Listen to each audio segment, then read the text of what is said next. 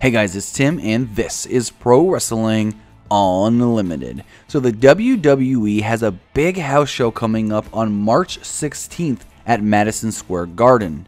WWE always takes pride in doing the MSG shows big time as far as, you know, putting on the best matches with the best superstars. Unfortunately, they no longer run television in Madison Square Garden. Well, the big match being advertised for this show is actually a mixed tag team match, which will see John Cena and Nikki Bella teaming up to take on the team of Elias and Bayley. I don't know what this match is really going to be for. It's just a house show, so it's not like this is going to correlate into TV. Yes, Elias and Bayley are a team in the Mixed Match Challenge, but John Cena and Nikki Bella are not in the Mixed Match Challenge. So it is very interesting that they are setting this match up and doing it at the Madison Square Garden house show. We haven't seen Nikki Bella since the Women's Royal Rumble, and really she hasn't done a lot since WrestleMania 33, if really anything other than the Rumble. So is this just a one another one-off thing for Nikki Bella?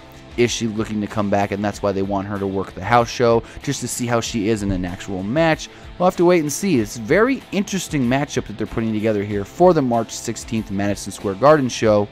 And if we do hear anything else on this mixed tag team match, we'll have it for you right here on Pro Wrestling Unlimited. But that's going to do it for this episode. Remember to comment below, like, and share this video. Like us on Facebook, Instagram, and Twitter. Subscribe here on YouTube and follow PWUnlimited.net for the latest in pro wrestling news.